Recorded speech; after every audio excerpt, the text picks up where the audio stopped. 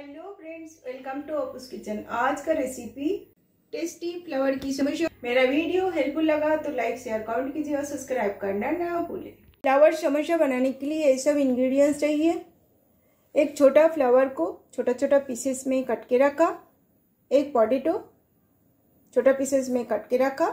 Oil use करूँगी। एक चम्मच धनिया क्रश करके रखा।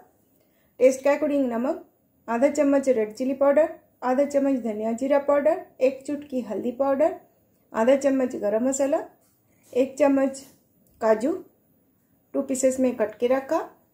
डो बनाने के लिए एक कप मैदा लिया।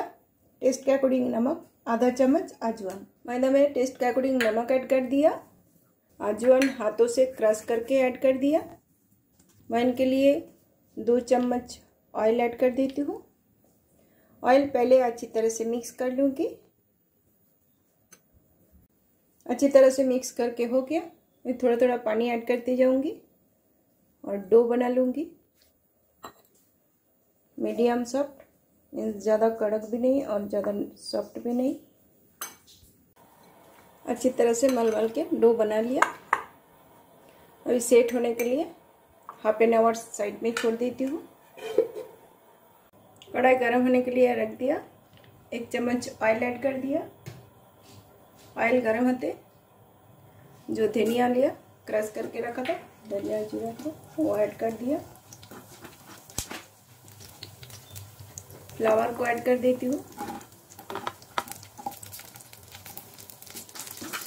और ऑयल में अच्छी तरह से फ्राई कर लेती हूँ। फ्लावर अच्छी तरह से फ्राई हो गया। अभी हल्दी पाउडर और नमक ऐड कर देती हूँ। और दो मिनट अच्छी तरह से फ्राई कर लेती हूँ। फिर सारे ड्राई स्पाइसेस ऐड कर देती हूँ। और जो बॉयल पोटेटो कट के रखा था, वो भी ऐड कर देती हूँ और मसाले के साथ दो मिनट अच्छी तरह से फ्राई कर लूँगी। सारे मसाले के साथ अच्छी तरह से फ्राई कर लिया। अभी जो काजू लिया, काजू ऑप्शनल है, लेकिन समोसा में ऐड करेंगे तो बहुत ही अच्छा टेस्ट लगते हैं। काजू की जगह सिंगदाना व मूंगफली भी यूज़ कर सकते हैं, लेकिन काजू में बहुत अच्छा समोसा में टेस्ट देते हैं, इसके लिए मैं ऐड किया। और दो मिनट अच्छी तरह से कुक कर लेती हूँ, और जो बॉयल पोटेटो लिया, और मैश कर लेती हूँ। अच्छी तरह से मैक्स करके मिक्स कर लिया। मसाला के साथ और फाइव मिनट्स कुक कर लिया। स्टफिंग तैयार हो गया। गैस बंद करके ठंडा होने के लिए छोड़ देती हूँ। स्टफिंग ठंडा हो गया। प्लेट में निकल लेती हूँ।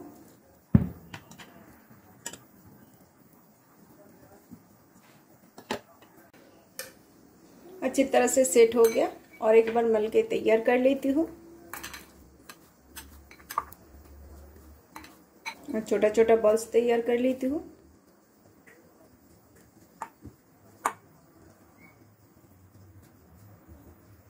बॉल्स ले लिया और रोलिंग पेन और बेलन लेके बेल के रेडी कर लेती हूँ पहले।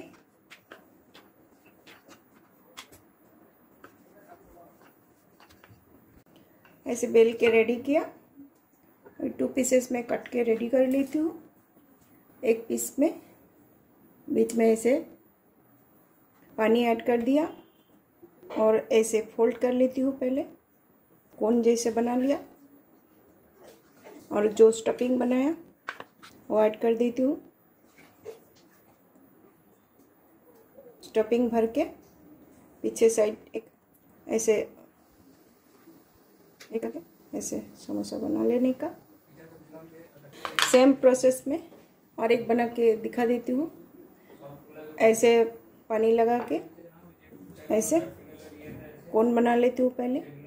कौन बना के और जो स्टफिंग बनाया वो ऐड कर देती हूँ। स्टफिंग भर के पीछे एक फोल्ड ऐसे देखें, अच्छी तरह से दबा देने का तो ऑयल में जाके खुलेगा भी नहीं। ऐसे सारे समोसा बना के तैयार कर लेती हूँ। ऐसे समोसा बना के तैयार कर लिया, चलता है फ्राइंग के लिए। ऑयल गर्म हो गया। फ्राई होने के लिए रख देती हूँ। पलट पलट के कलर चेंज होने तक मीडियम फ्लेम में समोसा को फ्राई कर लेने का। समोसा अच्छी तरह से फ्राई हो गया। बहुत ही अच्छा कलर है और प्लेट में निकल लेती हूँ। सेम प्रोसेस में सारे समोसा को फ्राई कर लेती हूँ। सारे समोसा फ्राई हो गया। अब प्लेटिंग कर लेती हूँ। टेस्टी फ्लावर की समोसा बनके रेडी हो गया। बहुत ही स्वादिष्ट बनता है। एक बार ज़रूर ट्राई कीजिए और आप लोग का एक्सपीरियंस मेरे साथ शेयर कीजिए। फिर मिलते एक न्यू रेसिपी के साथ। तब तक के लिए good bye thanks for watching